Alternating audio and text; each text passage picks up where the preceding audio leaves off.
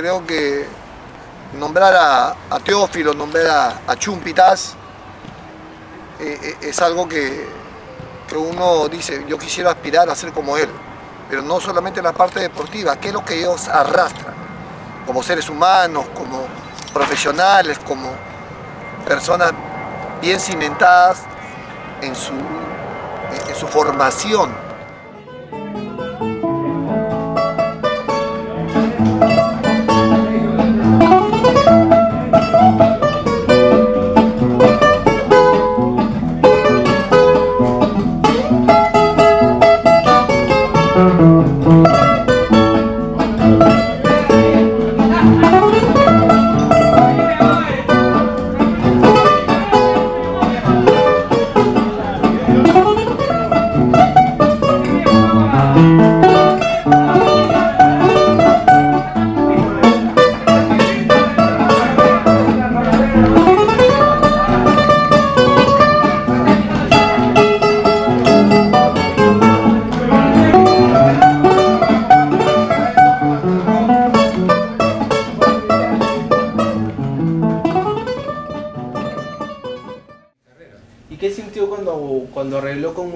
Porque me imagino que hasta ese momento usted no sabía de repente que si es que se iba a dedicar de repente al fútbol ya de manera profesional, ¿no? Porque una cosa es un equipo de primera y bueno, con mucha tradición como municipal.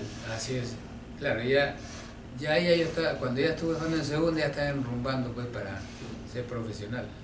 Y siempre estuvo, ya cuando jugó en segunda ya estaba decidido a que esto era lo que quería hacer. Sí, ya está porque como dije anterior, ya había jugado contra equipos que, ya estaban en la, eran reserva o juveniles en equipos grandes. ¿Y siempre creyó que pudo, que, pudo llegar hasta donde llegó o hubo momentos en que de repente eh, necesitó el apoyo de su familia para, seguir ahí? Eh, de repente una lesión o de repente un entrenador que no lo ponía mucho. No, no, ya desde que ya este, jugué en estos, contra estos equipos, ya tuve conciencia de que yo podía llegar.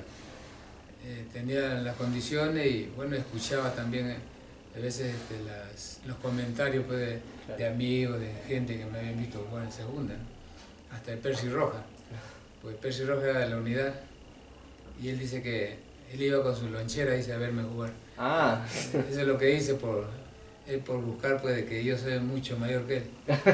Entonces que él iba con su lonchera, que es mi hincha, que pero en la posición que yo jugaba, yo siempre he sido defensa central, no, he sido lateral. Este, me acuerdo de niño, porque yo vivía acá en la unidad vecinal, me iba con bicicleta con mis amigos a ver los entrenamientos de la U, siendo yo hincha de Alianza, y verlo a Héctor Chupitaz.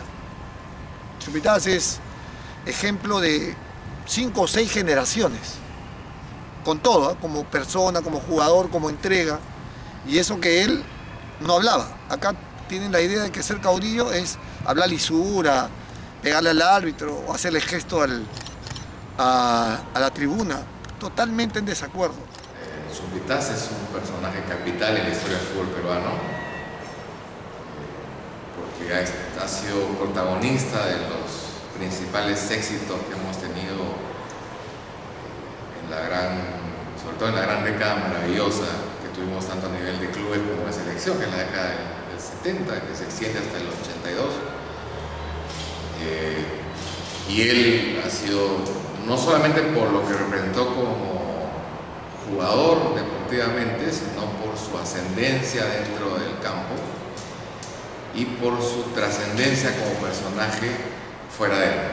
Entonces Chupitas ha sido ejemplo de, seriedad, de deportivismo, de amor a la camiseta, de entrega por, clubes, a lo que representó y, a nivel de selección.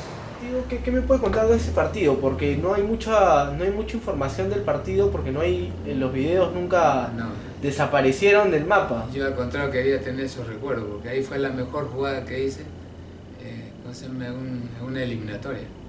¿Cómo fue? A ver, cuéntenos un poquito. Bueno, Argentina nos estaba atacando un pase largo a la espalda de Nicolás Fuente, que hace poco falleció. En, considerado uno de los mejores, o el mejor marcador de punta.